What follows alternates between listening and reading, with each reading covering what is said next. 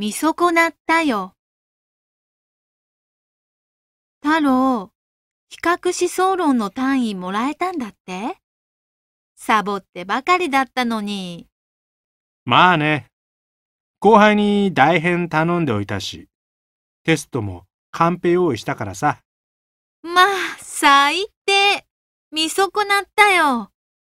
なんでちゃんと勉強しないの？だって今学期単位落としたら留年決定しちゃうんだもん。